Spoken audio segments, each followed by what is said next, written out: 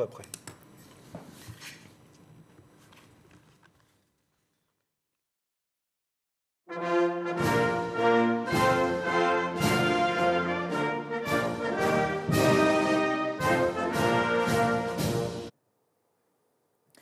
Françaises, Français, mes chers compatriotes, les Calédoniennes et les Calédoniens étaient aujourd'hui appelés à se prononcer sur l'accession à l'indépendance de la Nouvelle-Calédonie. L'organisation de ce scrutin était prévue par l'accord historique, vieux de 30 ans, qui avait permis à la Nouvelle-Calédonie de retrouver la paix civile dans le dialogue et le respect mutuel. Ce jour était le rendez-vous que les Calédoniens et l'État s'étaient donné à eux-mêmes pour surmonter les divisions. Je veux relever ici la promesse tenue depuis 30 ans, sans considération des changements de majorité à Paris ou en Nouvelle-Calédonie. J'ai en mémoire ce jour le rôle de chacun des responsables politiques qui ont marqué ce chemin de leur empreinte indélébile. Avec le gouvernement, nous avons tenu à la stricte neutralité de l'État dans cette consultation et à la plus grande transparence de l'ensemble du processus électoral.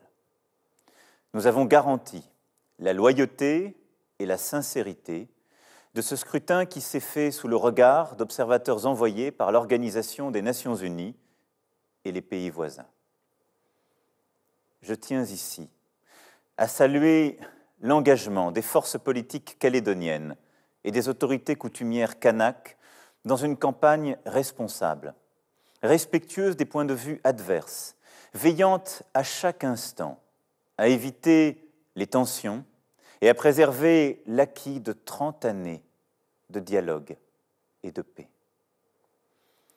Les électeurs ont pu choisir souverainement, en connaissance de cause, la relation entre la Nouvelle-Calédonie et la France. Ils se sont exprimés aujourd'hui, majoritairement pour que la Nouvelle-Calédonie reste française. Je dois d'abord dire l'immense fierté que nous ayons ensemble passé cette étape historique. Je veux aussi dire la fierté pour le chef de l'État que la majorité des Calédoniens ait choisi la France. C'est pour nous une marque de confiance dans la République française, dans son avenir et dans ses valeurs. Cette fierté, chacun peut la ressentir et la partager. En ce jour, le seul vaincu est la tentation du mépris, de la division, de la violence, de la peur. Le seul vainqueur c'est le processus en faveur de la paix qui porte la Nouvelle-Calédonie depuis 30 ans. L'esprit de dialogue que plus rien n'entamera. L'esprit de responsabilité qui a conduit à une participation exceptionnelle des Calédoniennes et des Calédoniens. Je mesure la déception de ceux qu'anime la volonté de l'indépendance. Ils ont pu l'exprimer dans les urnes et à cela. Je veux dire que l'État est engagé aux côtés de la Nouvelle-Calédonie pour garantir dans la durée la dignité de toutes les composantes de la société autour des valeurs de liberté, d'égalité et de fraternité. Ces valeurs sont celles de la République française, comme elles sont celles de l'Océanie. Nous pouvons les partager au-delà de nos divergences dans l'humilité et dans le respect.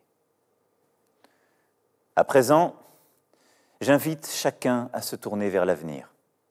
J'invite chacun à se saisir des responsabilités exceptionnellement larges reconnues aux instances locales pour construire la Nouvelle-Calédonie forte de son histoire et tournée vers demain.